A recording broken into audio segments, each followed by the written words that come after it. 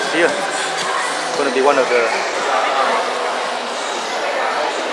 Congratulations! I did not like uh, go for that thing there.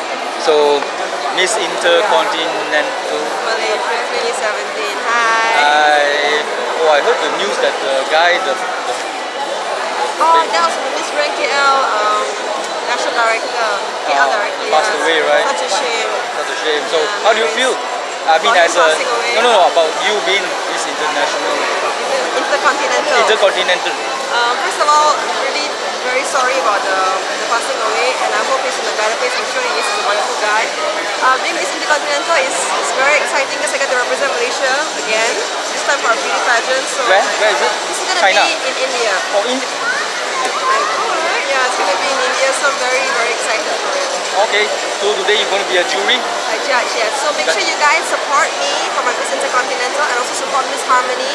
So yeah, much love to you guys. Thank you. Bye-bye. Bye.